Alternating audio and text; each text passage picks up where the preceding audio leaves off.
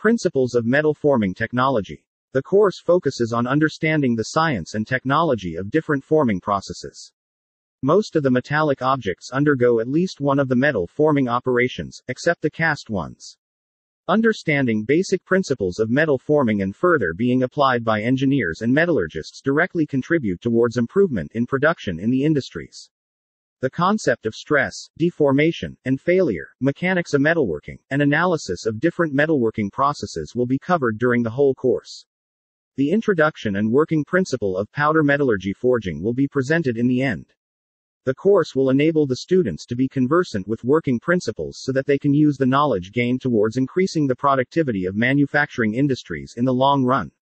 Principles of Metal Forming Technology Intended Audience Any interested learners. What will I learn? Week 1 Introduction and Classification of Metalworking Processes, Behavior of Materials.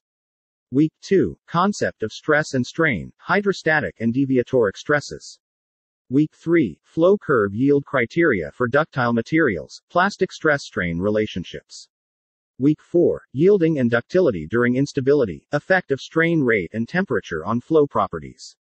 Week 5 Mechanics of Metalworking, Analysis Methods, Hot and Cold Working. Week 6 Introduction, Classification, and Analysis of Forging and Rolling Operations. Week 7 Defects in rolled and forged components, Analysis of Extrusion Process. Week 8 Classification and Analysis of Wire and Tube Drawing and Sheet Metal Working, Powder Metallurgy Forming.